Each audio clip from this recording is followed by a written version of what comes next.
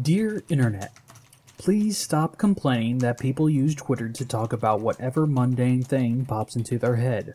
That's the reason for Twitter's entire existence.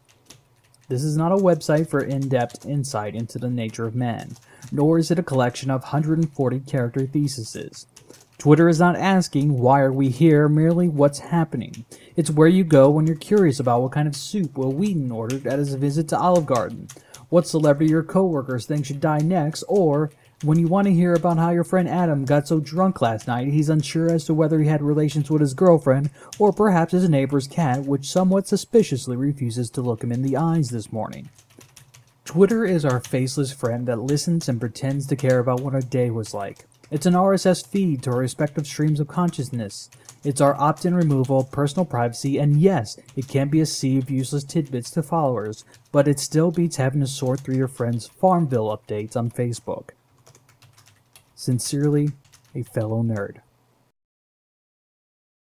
I Am Nerd is protected under Creative Commons license and may be freely distributed for non-commercial uses.